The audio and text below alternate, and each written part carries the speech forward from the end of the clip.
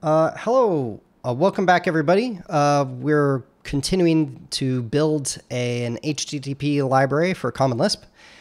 And uh, last time we worked on creating a parse HTTP request, which required us to build a bunch of other functions and, um, and went a little bit longer than I would like, but uh, we got what we wanted out of it. And today we're going to parse an HTTP response. So uh, we're going to start off here by creating a function parse HTTP response.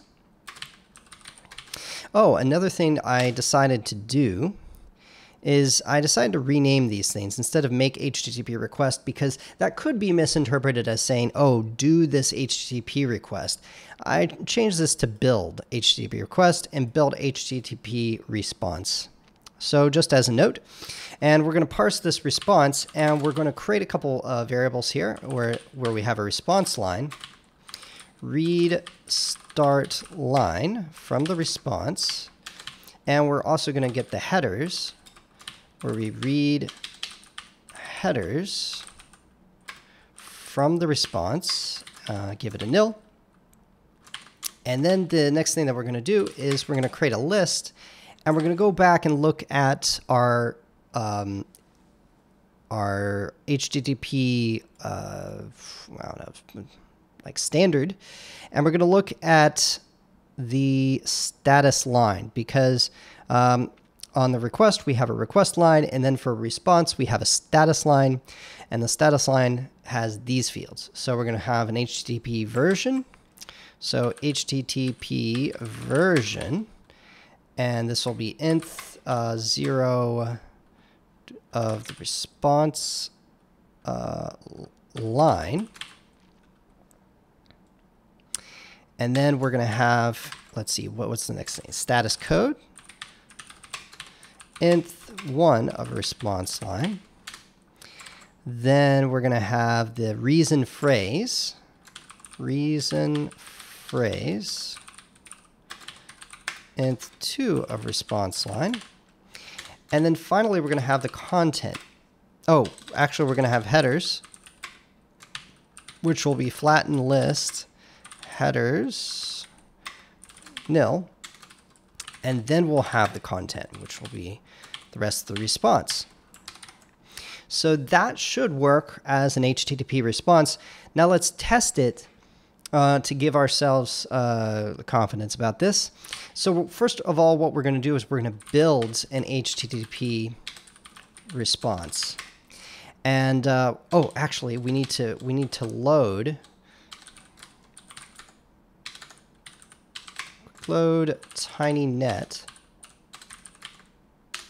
Okay, then we can do tiny net build HTTP response and we're going to have a status code. It's going to be 200. Our reason phrase is going to be OK.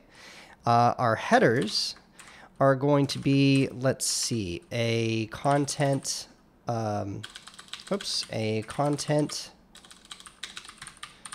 type, which will be text plain. Uh, we're going to have, oh, and this needs to be like that. And then we're going to have our content content length, which is going to be 5. And then we're going to have our content, which is going to be hello. See, content type, content length. Uh, all of that's really good. Let's see. So that creates our nice little response string. So now we can save this def parameter as a response. And now we've got a response variable that has our response as a string. Uh, now we can test our parse HTTP response by doing tinynet. Uh, parse HTTP response. Whoops, response. Oh, response. Okay, I guess uh, I guess that really should be our. All right, we're to leave this as response for right now, but we're to rename it to HTTP RESP in order to be uh, uh, congruent with the rest of what we're doing. So we need this to be a stream. So we're going to go back over here and uh, we're going to use make string input stream. So we're going to convert a string into a stream. So make uh, string input stream, and we're going to give it a response. And then that should give us um, our parsed response. And we have it. So we've got our HTTP version, which is uh, 1.1. We've got a status code of 200, a reason phrase of OK, headers, which has a content type, text plain, content length of 5. And then we have content, which is our string input stream. Right? Very good. So uh, the next thing that we're going to do here is we're going to go back through and uh, clean up a, uh, our functions a little bit by adding some documentation. And Common Lisp is great because you can add some documentation strings to the functions themselves uh, so that it's tied to the function itself. And then when you describe the function, you can actually get some of this documentation strings back out programmatically. So uh, the, what we're going to do is just describe kind of what these things do. So string keyword uh, converts converts um, a string to to a keyword some of these things are going to be very obvious, but we're going to, for completeness, we're going to do this. Headers, um, no, returns or converts. So this will convert uh, a, um, let's see, this is an A list to, um, to header to string converts an A list to um, to an HTTP uh, formatted header uh, list, right? So, uh, and this will convert a single A list entry, or yeah, A list entry. It's best to say that instead of just cons cell um, a single A list entry to an HTTP uh, formatted header line. There we go. Uh, then build HTTP request uh, um, returns a string and HTTP uh, request string. All right. We're going to say uh, returns and returns an HTTP response string. And read start line uh, parses, parses a start line.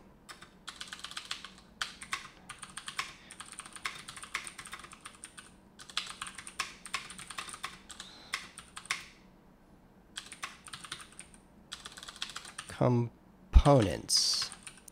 There we go. So we parse it and return a list of its components. And uh, actually returns uh.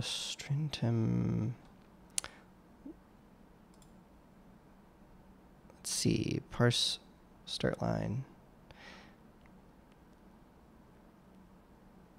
Yeah, so it just returns a list of its components, so that's very good. And then, uh, so this is actually kind of important, so that way we can just look through this. And even though some of these things are extremely obvious and, and some are kind of superfluous, some of these things, for example, like read start line, uh, since um, I'm not using uh, type um, annotations here, this allows me to see very quickly that I'm ret just returning a list uh, of, of the components of the start line, right? So I can see kind of the, what the output will be, what the input should be as just a reminder to myself. So here we go. Uh, parse header uh, returns, um, parses a header line.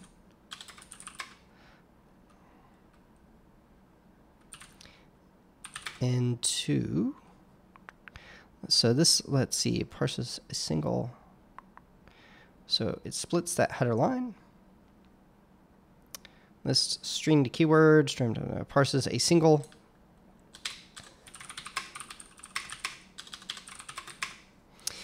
Into a let's see list string keyword blah, blah, blah, into a a p list.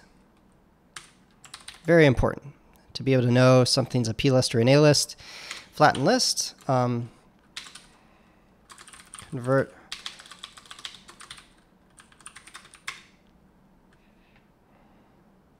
let's see let flatten list cutter list Let's see what this does. Um, it takes in, flattens a. Oh yeah, because the headers are and it flattens an A list into a P list. There we go.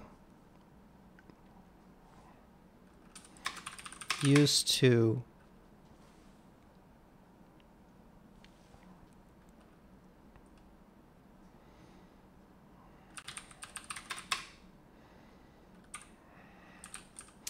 uh, a headers list.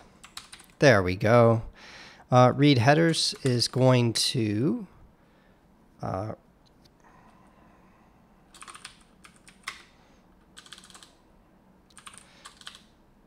reads a header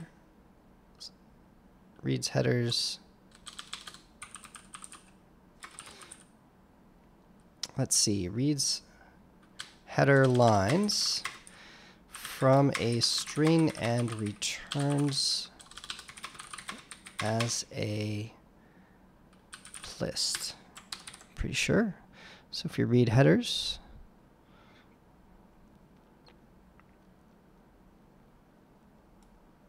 okay, here we go. So the results um, equals length, stir trim line, read headers, stream, push, parse header. So parse header to plist. Okay, very good. So we are telling the truth. Next thing is parse HTTP request. And uh, th what that does is um, reads and parses HTTP request from a stream.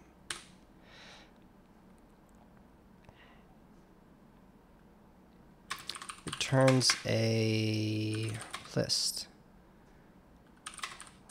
First request.